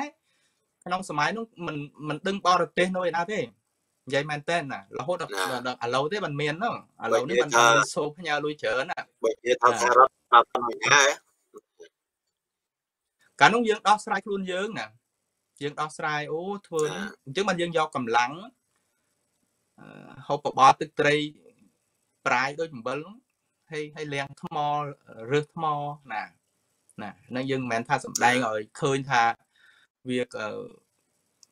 ពិបាកខ្លាំងអីទេប៉ុន្តែអានឹងជារឿងពិតមកណាវាវាវាសម័យនោះគឺចឹងមកណាហើយយើងជាបែបធម្មបើការរៀបរាប់តាមសម្ដីតាមធនការរបស់លោកគ្រូដែលបានមានធរណការរៀបរាប់អំពីការរស់នៅនិងជីវភាពរស់នៅនិងកិច្ចការកសាងនិងការចូលរួមក្នុងសង្គមនៅ កម្ពុជាក្រោមយើងបើតាមលោកគ្រូខ្ញុំកណាចង់ឲ្យលោកគ្រូរាយរាប់ផងដែរអំពីកិច្ចវត្តដែលយើងប្រាប់ថាបួសរៀននេះបួសរៀនឲ្យមានកិច្ចវត្តនឹងដូចជាព្រឹកល្ងាចនមស្ការហ្នឹងនៅតំបន់ហ្នឹងគឺជាពិសេសគឺវត្តលោកគ្រូហ្នឹងឯងដែលលោកគ្រូគង់នៅហ្នឹងហើយបើការងាររវល់អញ្ចឹងហើយកិច្ចវត្តព្រឹកល្ងាចហ្នឹងហើយត្រូវធ្វើបែបណាដែរលោកគ្រូ ដើម្បីឲ្យប្រសង់នឹងមានការបួសរៀននឹងការសូត្រធម៌សូត្រអីហើយក្នុងកាសង្ឃកិច្ចអឺផ្សេងផ្សេងដូចជាក្នុងការសូត្រមន្តឬសំដែងធម៌ផ្សព្វផ្សាយពធហ្នឹងតាមបទបែបណាដែរសម្រាប់ប្រសង់ហើយនឹងឲ្យញាតិញោមបានសិក្សាពធនៅក្នុងសម័យនោះលោកគ្រូកណាណែកិច្ចនមស្ការព្រឹកល្ងាចហ្នឹងគឺពិតជាសំខាន់ដែលมันអាចខានបានណា ព្រោះក្នុងពេលនោះយើងបានជួបជុំប្រសង់ណាត្រឹមតែ35នាទីឬ40នាទីហ្នឹងយើងបានជួបជុំប្រសង់ហើយយើងឡើងនមស្ការដោយប្រជុំអញ្ចឹងណាឡើងនមស្ការពេលវេលាណាដែលសំគួរឲ្យប្រសង់ជួបជុំនៅទីប្រវហាឬមួយទីកន្លែងសំគួរក្នុងវត្តអារាមដើម្បីធ្វើពិធីកិច្ចវត្តតាមធម្មតាយើងនៅស្រុកកម្ពុជាក្រោមវត្តណាក៏តែងតែមានប្រវហាទាំងអស់ណា សច្ចធំក្តីហើយប្រក់ស្លឹកក្តីប្រក់ក្បឿងក្តីมันมันដែលខានថាมันមានទេគឺត្រូវតែមានណារហូតដូចវត្តអូវែងចាស់វែងថ្មីដែលគ្នាក្រនៅកណ្ដាលវាលក៏ដោយតើជាប្រវហាมันបានប្រក់ក្បឿងកាលសម័យហ្នឹងណាឥឡូវប្រក់ក្បឿងហើយតើជាប្រក់ស្លឹកក៏ដោយក៏កងគេហៅប្រវហាមានប្រវហាមួយដៃដលែកសម្រាប់ឲ្យសង់ធ្វើសង្ឃកម្មអញ្ចឹងទេគ្រូមហាសួរថាចុះកិច្ច បនិបាតព្រឹកល្ងាចនមស្ការអីជាដើមយ៉ាងម៉េចបើហត់ម្លឹងម្លឹងទេត្រូវតែឡើងបងណាត្រូវតែឡើងមិនឡើងបានទេចោលទៅការតឹងរឹងណាអឺខ្ញុំមកបំផាន់ដែរយើងកម្មវិធីការអត់មានទៅណែហើយក្នុងពេលដែលឡើងនមស្ការនោះទៀតហ្នឹងព្រោះមានប្រយោជន៍ច្រើនពេលព្រឹកខ្ញុំមកប្រហែលដែលយើងឡើងនមស្ការហើយល្ងាចអូពេលល្ងាច ពេលល្ងាចកំណត់ម៉ោង6ណាតាមបណ្ដាវត្តទេនឹងមិនដូចគ្នាទេណាមិនដូចគ្នាទេពេលព្រឹកព្រលឹមវត្តខ្លះម៉ោង4កន្លះវត្តខ្លះម៉ោង5វាមិនដូចគ្នាទាំងអស់ទេទៅតាមវត្តអារាមដែលពិចារណាការលោកដាក់ណាណាមិនដូចគ្នាទេហើយយើងឡើងនមស្ការនឹងនមស្ការប្រតនត្រ័យរួចហើយយើងមានកិច្ចត្រូវបង្ហាត់ធរអីមួយមេចឹងណាឧទាហរណ៍ក្នុងនោះមានកូនលេនកូនអីចឹងដែរ យើងឡើងនមស្ការនោះហិចដូចបង្ហាត់ធម៌ហ្មងនមស្ការអំបានថាឥឡូវពេលល្ងាចសូត្រធម៌សូត្រមន្តទៅករណីបនិធានករណីយេសន្តាអញ្ចឹងទៅដល់ពេលព្រឹកឡើងនមស្ការពេលព្រឹកវិញបនិធានអូសុំទោសក៏សាលាអីចឹងមកកាត់តំណតារាងអីចឹងណាបែបថបអង្គសកលអីចឹងទៅទេរោកូដេអីចឹងចឹងហ្នឹងគេសូត្រចឹងហើយលោកចង់លោកចង់ឡើងលោកបង្ហាត់ថគ្នាដូចជាបង្ហាត់ថគ្នាចឹង ណាហើយត្រូវបែងការងារយ៉ាងម៉េចយ៉ាងម៉េចហ្នឹងគឺក្នុងនមស្ការក្របក្រោយពីនមស្ការហ្នឹងឯងណាណាក្រោយពីនមស្ការចប់ហ្នឹងមានចៅតិកាលោកលោកយំមិនថាចៅតិកាហ្នឹងមេតបតបស្រួចណាមេតបបកែគិតបកែឆ្លះវ័យនៅក្នុងការគេហៅរ៉ាន់ណាគ្រប់គ្រងណាអឺប្រសងបើមិនជន់ទេលោកមិនដឹងធ្វើម៉េចបើ មេវាខ្សោយវាកូនក៏ខ្សោយដែរណាអញ្ចឹងចៅតកាមួយអង្គមួយអង្គលោកប្រាំងប្រែងណាហើយស្រឡាញ់ត្រង់ដែរកាលសម័យកណានោះសត្វទៅអង្គចាស់ចាស់ណាលោកបួសដឹងចំណនណាទេហៅតាយើងនោះមិនមែនលេងទេណាឬបោះយ៉ាងហោចណាក៏អោយើងដែរលោកលោកលោកលោកលោកស្រឡាញ់លោកអញ្ចឹងណាលោកលោកអសួរលោកបួសសត្វទៅបួសមកអាយុអញ្ចឹងណា ចឹងទេឡើងនមស្ការសំខាន់ចូលក្នុងក្នុងការសិក្សាបាលីឬធម្មវិន័យនៅតំបន់យើងនឹងគឺថាពេលវេលាមកប្រហែលទៅដែលយើងចូលសិក្សាភាសាបាលីហើយពេលណាទៅដែលយើងចេញទៅនិមន្តបិណ្ឌបាតអឺតាមគេអត្ថរបស់ញាតិញោមអឺយើងក្រោយពីឆាន់បបរទឹកត្រីពេលព្រឹករួចហ្នឹងម៉ោង7ចូលបាទឬនឹងអាម៉ោង7ដឹងថាចូលមក ណាចូលរហូតដល់ម៉ោងទៅតាមវេនវេនខ្លះឆ្ងាយលោកលោកគ្រូលោកឲ្យចេញមុនក្នុងវត្តខ្លះមានវេនឆ្ងាយណាបើវេនឆ្ងាយចេញមុន20មិនិតអីចឹងទៅណាអង្គដែលត្រូវឆ្ងាយចេញមុនអង្គដែលនៅចិត្តល្មមហ្នឹងប៉ាន់ភាកច្រើនរហូតដល់ម៉ោង9:40ណាបានចេញណានោះពេលព្រឹកពេលព្រឹករៀនបានតិចទេតិចម៉ោងជាងពេលល្ងាចដែលមានអឺទៅនិមន្តបិណ្ឌបាតណាអូ ចឹងទេដឹងថាក្រោយពីបោព្រឹកម៉ោង7ហើយនឹងចាំកោះហើយសិក្សារៀនសូត្រហើយហើយចុះកម្មវិធីបុណ្យដែលយើងទៅមន្តបុណ្យខាងគេអដ្ឋានក្តីយើងចាត់កម្មវិធីបុណ្យអីផ្សេងផ្សេងនៅក្នុងចំណោះជើងវត្តហ្នឹងលោកគ្រូដូចជាមានចូលរួមក្នុងកម្មវិធីសម្ដែងបធរឬមួយធ្វើធម្មសាកិច្ឆាឬមួយស្អីផ្សេងផ្សេងទេបើយើងជាអ្នកកាន់ពុទ្ធសាសនាត្រូវការដឹង ពាក្យពេចន៍ខ្លះដែលប្រពុតលោកបានណែនាំព្រាមបដៅយើងហើយយើងមានការប្រសពប្រសាយបធនតាមបែបបទណាដែរដែលចំពោះញាតិញោមពុទ្ធបរិស័ទជាសាសនុបឋមយើងហ្នឹងហើយលោកគ្រូបានពិធីអីឬបានធ្លាប់ចូលរួមពិធីអីកាលសម័យនោះផ្សាយធម៌តាមបែបធម្មជាតិណាអត់អត់ពឹងទៅលើហើយសាប់ពឹងទៅលើ YouTube DVD CD បានទេ កាលសម័យហ្នឹងអឺគឺទៅសំដែងធម៌រាល់ថ្ងៃសិលមកមួយខែមួយថ្ងៃហ្នឹងញាតិញោមមកហ្នឹងមានធម៌ផ្លែកផ្លែកលោកផ្លាស់វេគ្នាណាដើម្បីយើងយើងមិនតនិយាយពីរឿងទៅក្រៅវត្តទេយើងមិននិយាយទៀនផ្សេងផ្សេងទេនិយាយនៅក្នុងវត្តរាល់ថ្ងៃឧបោសថសិលណាណែក្នុងមួយខែមានពេញបោខែដាច់8កើត8រួចអញ្ចឹងទេ គ្រូចៅទៅការនោះចាត់ហ្មងលោកមើលអង្គណាដែលចេះក្រនក្រនណាមិនមិនមិនមិនថាអង្គនោះបានคล้ายជាអង្គធម្មកថាអីល្បីឲ្យបានហៅទេមែនទេអាមិនតន់ចេះនោះហើយហៅមកទេទៀតណាអាមិនតន់សូវហេនិយាយមិនតន់សូវចេះអឺមានវោហាអីនោះហៅមកមកមុនគេផងណាដើម្បីមិនឲ្យលោកសំដែងផងឲ្យលោកហាត់ខ្លួនឯងលោកផងព្រោះប្រយោជន៍ចឹងណា ហើយយាយតានោះកាលសម័យនោះបែបធម្មជាតិគ្រាន់តែតាំងនមោនិយាយហូនតិចយាយតាសួរហ៎កូនណាយឺកូនណាកូនណាចាំណាទៅលឺសូចុងហើយយើងផ្សាយបែបអញ្ចឹងយើងផ្សាយគ្មានអីថតអីទេមែនទេសំដែងរាល់ថ្ងៃសិលអញ្ចឹងណាសំដែងរាល់ថ្ងៃសិលហើយបើថាទុកបនតាមបណ្ដាផ្ទះញាតិញោមអីផ្សេងផ្សេងដូចយើងមានបន សង្កេតាតាកណ្ដាលប្រទានឆាកមហាបាំងស្គលពុទ្ធពិសេសកថានទានអីជាដើមហ្នឹងអានោះក៏មានចាត់ធម្មកថាណាក៏មិនមែនដដែលដដែលដែរចាត់ផ្លាស់វេនគ្នាណាចាត់ផ្លាស់វេនណាណាកណាជួបម្ដងបនខ្មោចណាបែកញើប្រព័ន្ធក្របពោតមិនមែនលេងណាយើងមិនតន់ដឹងខ្យល់អីផងឲ្យយើងឡើងទេបណ្ដោយអាទេយកអាមិនចេះនោះនិយាយតិចមើលអាមិនចេះយ៉ាងម៉េចណា ឲ្យគេដឹងថាមិនចេះដើម្បីគេស្រួលប្រាប់ណាចាំបើយើងមិនចេះហើយយើងនៅស្ងំគេមិនដឹងយើងមិនចេះតាណាណានេះអាចំណុចហ្នឹងកណាស្រឡាញ់ណាស្រឡាញ់មកដល់ពេលឥឡូវយើងឃើញថាមានគុណណាយើងឃើញថារៀមច្បងរបស់យើងចេះចេះបង្ហាត់ទៅប៉ណ្ណនោះយើងរកកចង្ខឹងផងហៅអេងឡើងធ្វើឲ្យឯងបាក់មុខអីជាដើមប៉ុន្តែតាមពិតមិនមែនទេឲ្យយើងចេះមានភាពក្លាហានឲ្យយើង ចេះរៀបរបៀបនិយាយណាបើថាមានខុសអីទៅវត្តលោកប្រាប់ពេលដែលឡើងនមស្ការនិយាយមិនហ្នឹងពេលដែលឡើងនមស្ការលោកប្រាប់លោកប្រាប់ថាណែបងអូននិយាយថ្ងៃនោះខុសហើយគេមិនមែនថាខ្យល់អីចឹងទេយឺគេមិនមែនថាដយចឹងទេព្រោះអក្សរដលោបតកគេអានថាដល់ណាគេលោកលោកកែយើង ណាណាអានថាខ្យល់ចឹងទេខជើងយោលោតកមួយទៀតខ្យល់ខ្យល់ហ្មងណាដូចចាំឥឡូវណាណាចាំឥឡូវគេមិនដែលឃើញឃើញចឹងទេយើងថាឃើញអីចឹងលោកគ្រូកណាថាមកដល់ពេលឡើងនមស្ការចាប់ដើមកែយើងភ្លាមមិនកែយើងនៅក្នុងមុខទេលោកចាំទុកហើយដល់ពេលឡើងនមស្ការលោកលោកលោកកែយើងគេហៅឃើញឃើញអាណាហៅឃើញមិនខ្មែរក្រមយើងនិយាយទៅឃើញហ្នឹងណាដល់ពេលទៅវាវា បាក់ភ្នត់ណាវាបាក់ភ្នត់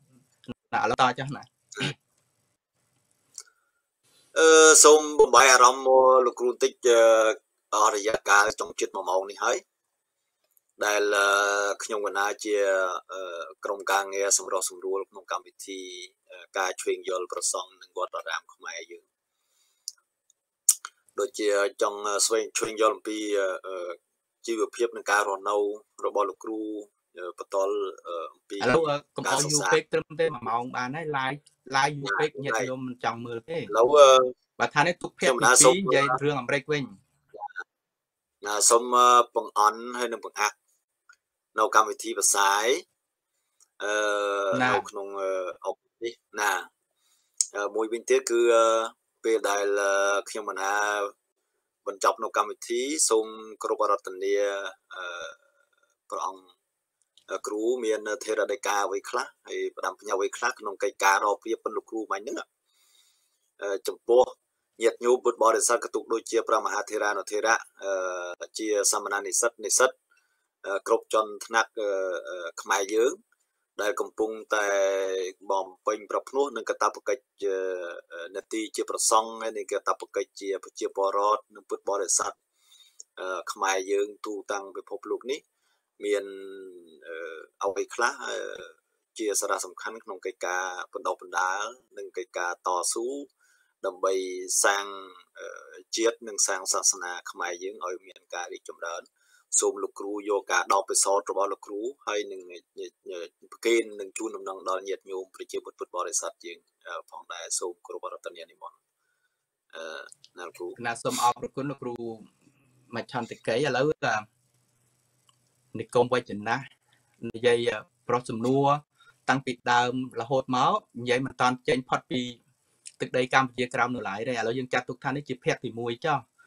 អឺបើនិយាយទូទៅទាំងអស់វាមិនតាន់សមដែរឥឡូវយើងនិយាយត្រឹមក្នុងរង្វង់ដែនដីកម្ពុជាក្រោមសិនចុះប្រុសសំណួរតាំងពីដើមរហូតមកមិនតាន់ហួសមិនតាន់មកអត់សុខខ្មែរផងហ្នឹងទឹកមកទឹកកំពុងនៅនៅ90ជាងនិង90ហ្នឹង ជាងទេឥឡូវនិយាយនិយាយនិគមវចនៈត្រឹមត្រឹមត្រឹមនៅអ្វីដែលបានដែលបានធ្វើបទសម្ភាសនឹងបានហើយចាំភេកទី1ទី2ទី3ហ្នឹងចាំនិយាយតតមកទៀតណាឥឡូវសូមនិគមវចនៈនិយាយពីប្រសងនឹងវត្តអារាមហ្នឹងមច្ឆន្តិកៃបានចោតសំណួរសួរមួយម៉ោងឡូវហ្នឹងហើយហ្នឹងតាំងពី8ជាងហ្នឹង8ទសវត្សរ៍ជាងប្រសងសិក្សារៀនសូត្រ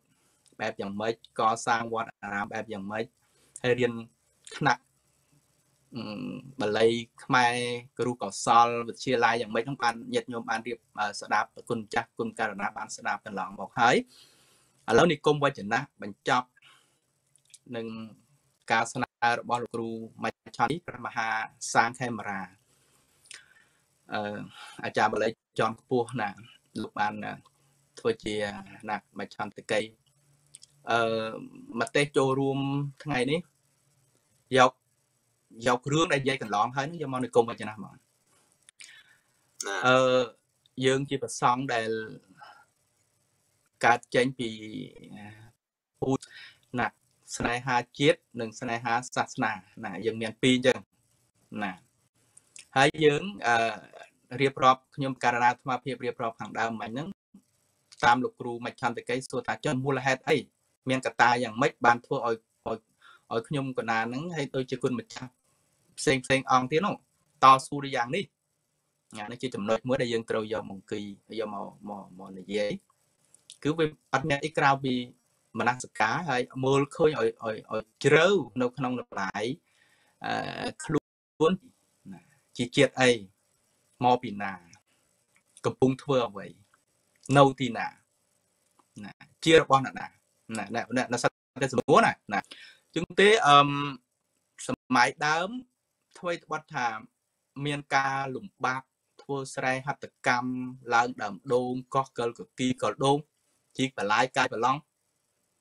តែណាប្រសងលោកនៅតស៊ូបានរហូតអង្គខ្លះលោកនៅជាស័ក្តិសិទ្ធិដល់សពថ្ងៃណាកណានៅមានពួកម៉ាក់ច្រើនប៉ុន្តែចំនួនកណាបើថាណាក់សឹកទៅវិញហើយមានចៅហើយអញ្ចឹងទេអឺ សូមសរុបមកដល់សពថ្ងៃនេះជាជាសម័យទំនើបណាបច្ចេកវិទ្យាជឿនលឿនទៅដោយ computer ទៅដោយ iPhone iPad internet software អាប់ឡើងឡាអឺសូមតែប៉ុណ្ណាទេសូមថាតោះជាអវ័យទំនើបជឿនលឿនយ៉ាងណាក៏ដោយ កុំចោលនៅអ្វីមួយដែលជាគេមរតកដែលជាបុរាណរបស់យើង ដែលធ្លាប់បានធ្វើជាឫសគល់ធ្លាប់បានធ្វើជាជាជាឫសកែវដើម្បីជាគោលចរិតមមមួនដល់ដល់សង្គមជាតិខ្មែរនៅទឹកដីកម្ពុជាក្រោមនេះដោយនិយាយភាសានេះព្រោះបើនិយាយពីសម័យនោះ និងសម័យឥឡូវវាដូចពិបាកនិយាយបន្តិច រកគុណម្ចាស់ទៅកោះកិលដូងណាពិបាករកគុណម្ចាស់ទៅឡើងដើមដូងបេះផ្លែដូងណាពិបាករកគុណម្ចាស់ឡើងទៅទៅទៅទៅដើមកគីកាប់ម៉ែកគីធ្វើអស់ដាត់បបប្រគេនលោកពេលព្រឹងពិបាកណាហេតុអីបានថាអញ្ចឹងព្រោះតាមដឹងទៅសម័យសពថ្ងៃរៀងដូចដូចស្រួលសត្វតែទូរស័ព្ទគេយកគុយទាវយកនំបញ្ចុកចូលមកណាណែណែណែ ហើយសម័យ Facebook រលឹកយកជ្រៅណាហើយចំពោះសមណនិស្សិតនិស្សិតហើយនឹងខ្មែរពុទ្ធបរិស័ទយើងបែបណាទេពេលដែលនិគមវចនាលោកគ្រូសូមលោកគ្រូឲ្យជាយុបល់ឬជាកតាបទេផ្ដាំផ្ញើថាដូចនិយាយមិញទៅផ្ដាំផ្ញើរួចហើយតោះជាសម័យវាទំនើបបែបយ៉ាងណាក៏ដោយ យើងមានកន្លែងដែលយើងមិនអាចទៅតាមទំនើបបានដែរតួយ៉ាងអក្សរសាស្ត្ររៀនត្រូវតែរៀនមកសរសេរត្រូវតែសរសេរចឹងមក តន្ទិញដោយការសម័យនោះបាបរិមមកបត់ថាកថាគេថាតន្ទិញមកតន្ទិញតជាមួយនឹងហៀងហងមកតន្ទិញតជាមួយកអាប់យកភ្លៀងផ្លាក់ដើមឆ្នាំចឹងមកណាចឹងឥឡូវអ្វីជាការបារម្ភបារម្ភខ្លាចវិទ្យាសាស្ត្រដែលដើរជឿនលឿនខ្លាំងពេកប្រគុណម្ចាស់វាទំនើបមានម៉ូតូច្រើនមិនមែនមិនដោយថ្មើរជើងដូចសម័យមុនណាណាចេះក្រែងវាវាអ្វីមួយដែលវាវាជឿនលឿន ជួនកាលវាធ្វើឲ្យអ្វីមួយវាវានៅសល់ណាណាវានៅសល់ជាងទេឥឡូវយើងបើយើងណាក់ចេះដឹងមកដល់សម័យសពថ្ងៃនេះឃើញគុណម្ចាស់ឥឡូវក៏លោកប្រកែកខាងបច្ចេកវិទ្យាល្អអឺខាង computer ខាង iPhone អណែណែ YouTube Facebook អីល្អបើយើងចេះឆ្នៃរបៀបឲ្យល្អជាងកាលសម័យខ្ញុំកណាពេលដើមទៅសេដោយដៃណាយើងខំឲ្យអស់ពីកម្លាំងកាយចិត្តហ្នឹងយើងយកវាវាឲ្យ ការសិក្សារៀនសូត្រអឺផ្នែកខាងធម្មបាលីក្តីវិន័យក្តីនៅក្នុងទឹកដីរបស់យើងហ្នឹងវាបានល្អជាងមុនក៏អាចថាបានហ្នឹងនោះបើយើងមានមនសិការៈជ្រាលជ្រៅយើងយើងយកនៅចំណេះដឹងសម័យបច្ចុប្បន្នដែលជាសម័យដូចជាបត្រៃមិដកគឺចូលក្នុង software អស់លីងហើយមិនអានដូចឥឡូវណាចេញក្នុង iPhone មើលបានប៉ុន្តែប៉ុន្តែប៉ុន្តែ វាមានអបញ្ហាមួយកុំឲ្យវាចូលលងអ្វីមួយវាផ្លេចមើលថនណាផ្លេចមើលអក្សរណាជួនកាលវាអាចវាមានច្រើននៅក្នុងនោះវាមានបច្ចេកវិទ្យាទំនើបវាមានច្រៀងវាមានរំវាមានលខោនវាមានកុនវាមានស្អីស្អីតែអញ្ចឹងក្រែងបើកទូរស័ព្ទ3 4ដងមិនតាន់ឃើញថមម្ដងអានឹងវាវាជាហេតុបារម្ភដែរណាបារម្ភដែរហ្នឹងមួយមួយទៀតផ្នែកខាងអាហារភោជនហ្នឹង ក៏ធ្លាប់ឮសូគុណម្ចាស់លោកនិយាយថាឥឡូវស្រួលណាទូរស័ព្ទបបរគ្រឿងបបរអីក៏យកមកដល់វត្តកាហ្វេទឹកកកអីវាខុសពីមុនអាចចំណុចនេះវាបានទៅជាងាយស្រួលដែរប៉ុន្តែ វាអាចទៅជាធ្វើឲ្យយើងនឹងទម្លាប់ណាទម្លាប់ឥឡូវការនិយាយទៅប៉ុណ្ណាទេកណាណាបើយើងឆាន់បបរទឹកត្រីរួមគ្នាណាយើងមើលឃើញពីគុណតម្លៃដែលយើងឆាន់កំសត់ក្រនឹងគ្នាណាវាបណ្ដោះមនោសញ្ចេតនាមួយដល់ជ្រៅទៅហើយ ចុះបើយើងឆាន់បបរគ្រឿងក្តីគុយទាវក្តីកត់ណាកត់នោះចេះតែឆាន់ហ្នឹងហើយគ្រូសង្គ្រាចក៏ឆាន់ដោយគ្រូសង្គ្រាចទៅលោកនេនលោកផឹកអីអង្គណាឆាន់តាមកាត់ដល់យូរទៅយូរទៅដូចមិនសូវមិនសូវមិនសូវមកមុនទេនេះជាចំណុចមួយដែលខ្ញុំបារម្ភណាខ្ញុំកណាបារម្ភណាបារម្ភចំណុចហ្នឹងអឺបើនៅតែរក្សាខ្ញុំមិននិយាយមិញមានពីចំណែកណាដែលជាបុរាណដែលនៅល្អហ្នឹងកុំចោលណាពេលព្រឹក មានស្អីឆាន់នឹងរួមគ្នាទៅគ្រូសង្គ្រាមគ្រូសូត្រគ្រូគ្រូចាព្រះអង្គគ្រប់ព្រះអង្គសមណែអីជាដើមនឹងឆាន់ទាំងអស់គ្នាឡើងនមស្ការទាំងអស់គ្នាបាត់ទេលផូនទេលអីទាំងអស់ណាអានឹងបានបានប្រុសរបស់យើងយើងត្រូវចាំថារបស់យើងយើងដើរមិនបច្ចេកវិទ្យារបស់គេទេប្រុសគេធ្វើបានដល់ឡានទៅហើយយើងមិនតាន់ធ្វើបានបន្លាយទេយើងត្រូវចាំអញ្ចឹងយើងត្រូវធ្វើអ្វីតាមបែបបទជាចិត្តសាស្ត្ររបស់យើង ណាបានបានបាននៅរក្សាបានបើថាឥឡូវយើងចេះទៅសំអាងថាអូទៅភ័យស្អីទៅទៅចាំបាច់ទៅបបពេលព្រឹកអីចាំបាច់ទៅធ្វើលាយសំងអីជួលទៅជាងមកឥឡូវសម្បូរប៉ុន្តែយើងផ្លេចនឹកឃើញថាថាវិការរបស់ត្រង់នៃការកសាងនោះគឺពិតជាយ៉ាប់ទៅដាប់ទៅដួសណាទៅដាប់ទៅដួសជួនកាលវត្តខ្លះចម្ពាក់បំណុលឆ្លងបញ្ចុះសីមារួចហើយជាប់បំណុល ចិនដល់3 4ឆ្នាំមិនតាន់មិនតាន់សងរួចផងអានេះជារឿងមួយដែលខ្ញុំដឹងផ្ទាល់ចឹងមកហើយគេផ្ញើគេផ្ញើពាក្យមកផ្ទះរឿយរឿយណាដេកមិនលុកបោះមិនលហើយណាក្នុងពេលគ្រូចាទៅការជាប់ដំណុលវ៉ាន់កអញ្ចឹងហើយមានឯណាអារម្មណ៍ល្អបង្រៀនកូនចៅបានអានេះជាកង្វល់មួយណាអញ្ចឹងទេរូបភាពមួយដែលយើងពលកម្មចុកកបិនធ្វើពីនេះពីនោះទាំងអស់គ្នាជារូបភាពមួយដែលយើងខានបានទៅជាសម័យកាលណាវាទំនើបយ៉ាងណាក៏ដោយ យើងមិនអាចខានបានព្រោះជីវភាពរបស់យើងវាមិនតន់ទៅដល់មិនតន់ទៅដល់ជីកប៉ាល់ហោះនៅឡើយទេឃើញទេណាយើងត្រូវស្គាល់អញ្ចឹងណានឹងសូមមានប៉ុណ្្នឹងចាស់ណាណាអឺខ្ញុំកណាសូមថ្លែងអំណរអរព្រគុណដល់លោកគ្រូអឺគេអឺសារសវិនយោសួនកសល ជាប្រធានអឺពុទ្ធិកសមាគមអឺ ប្រសង់ខ្មែរសាររដ្ឋអាមេរិកសាខានៅរដ្ឋ Washington State និងរដ្ឋ Oregon ដែលបានឆ្លៀតឱកាសមកផ្ដល់បទសម្ភាសដល់ក្រុមការងារនៃពុទ្ធិកសមាគមប្រសង់ខ្មែរនៅសហរដ្ឋអាមេរិករបស់យើងលើកដំបូងហើយក្នុងនេះគឺពេលនិគមវចនាគឺញាតិញោមបានស្ដាប់ពីប្រមហាធិរានុធិរៈគ្រប់ព្រះអង្គ បានស្ដាប់លើកដំបូងហើយនឹងការបផ្សាយមុនដំបូងតែក្នុងការជំនាញក្នុងការនិយាយក្នុងការសួរដូចជាមានការឆ្កុំឆ្គងខ្លះខ្លះដូច្នេះបើមានតង់ទីកន្លែងណាមួយ ដែលមានការឆ្កុំឆ្គងនិងការខុសចម្លោះតង់លែងណាសូមប្រាគ្រូប្រវិជាក៏ទុកដូចជាប្រជាធិការព្រះមហាធេរានុធេរៈគ្រប់ព្រះអង្គគ្រូបណ្ឌិតតាចារ្យគ្រប់គ្រប់រូបមួយលើទៅដោយពុទ្ធសាសនុបឋមអឺ គ្រប់រូបផងដែរហើយកម្មវិធីនេះយើងនឹងកែសម្រួលឲ្យបានល្អប្រសើរ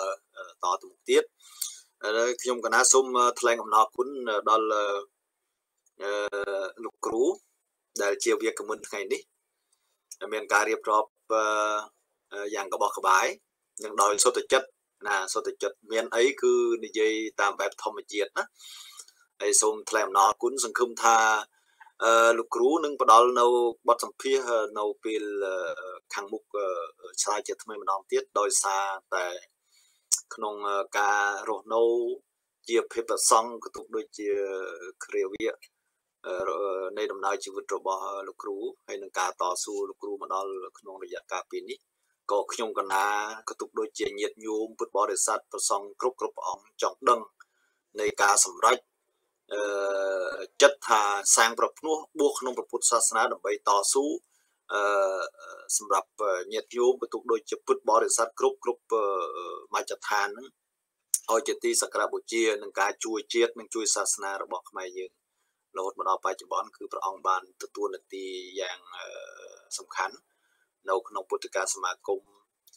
ជាប្រធានជាប្រធាននៃសាខាពីររដ្ឋគឺរដ្ឋ Washington State ដែលមួយលើទៅដោយរដ្ឋ Oregon ហើយនឹងជានីតិប្រជាធិការហើយជាធម្មកថាកាចាមួយព្រះអង្គដែលល្បីនៅក្នុងរដ្ឋ Washington State នេះផងដែរហើយអឺមួយទៀតសូមថ្វាយប្រពន្ធនិងប្រគិនពរដល់ព្រះប្រគុណប្រការណាព្រះអង្គជាពិសេសគឺព្រះអង្គវាកវិននៅក្នុងឱកាសនេះសូមឲ្យព្រះអង្គមានសុខុមាលភាពល្អបរិបូរណ៍ជាមលុក ឬពុទ្ធវញ្ញណៈទៅប្រសពផ្សាយដល់ញាតិញោមប្រជាមិត្តពុទ្ធបរិស័ទក៏ទុកដូចជាជារៀមច្បងនៃសមណនិស្សិតនិស្សិតគ្រប់អង្គរូបនៃចំនួនក្រោយនេះផងដែរអឺក៏សូមប្រគិនពរនិងជូនពរដល់ញាតិញោមទាំងអស់ដែលជាទស្សនិកជនដែលបានតាមដាននៅកសែវីដេអូអឺដែលផ្សព្វផ្សាយចេញអំពីពុទ្ធកាសមាគមប្រសង់ ខ្មែរនៅសហរដ្ឋអាមេរិកយើងនេះឱកាសនេះផងដែរហើយការផ្សព្វផ្សាយក្នុងឱកាសនេះក្រែងលូមានការកំហុសខុសឆ្គងត្រង់ណាសូមប្រមហាធិរានុធិរៈគ្រប់អង្គញាតិញោមគ្រប់គ្រប់រូបសូមខកខន្តីអភ័យទោសផងដែរនេតិដែលផ្សព្វផ្សាយការឆ្វេងយល់អំពីប្រសង់និងវត្តអារាមខ្មែរនៅពេលរាត្រីនេះគឺសូមសន្មត់ថា ចប់ដោយសង្កត់សង្ខេបបែបផ្លៃបែបនេះសូមគ្រប់ថ្វាយបង្គំនិងចម្រើនពរលាសូមអរគុណនិងអរគុណសូមអរគុណលោកគ្រូអាណាអាមេរិកក៏សូមអរគុណលោកគ្រូម៉ាធាណាជា operator ដែលបញ្ជានៅកម្មវិធីផ្សាយផ្ទាល់ណាសូមអរគុណនិងសូមពេនសັບសាទុការពោដល់ព្រះគ្រូប្រធានពុទ្ធិកាសមាគមព្រះគ្រូអនុប្រធានប្រធានអង្គការនយោបាយគណៈកម្មការនយោបាយ ព្រះអាកាសលេខាធិការការលេខាធិការរងនឹងគុណករណាគ្រប់គ្រប់ព្រះអង្គញោមញាតពុទ្ធបរិស័ទប្រកបនៅពុទ្ធពរ5ប្រការអាយុវណ្ណសុខៈបលះបដិភិណៈសម្បត្តិ3ប្រការមនុស្សទេពណាប្រណិពានកំបីគ្លៀងគ្លៀតឡើយណាសូមនមស្ការចម្រើនពរលាណា